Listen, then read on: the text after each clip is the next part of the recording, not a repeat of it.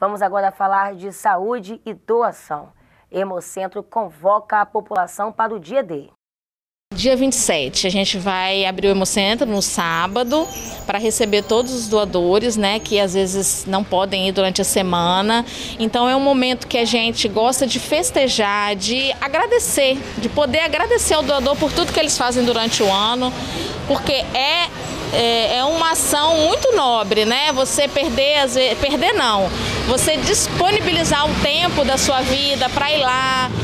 A gente está num, num local um pouco de difícil acesso, tem doador que tem que pegar dois ônibus. Então a gente pega essa data, esse sábado do mês de novembro, para agradecer ao doador. Então a gente pretende coletar muitas bolsas de sangue e oferecer um bom café da manhã para quem for lá doar sangue com a gente. Então não se esqueça, hein? Anota aí.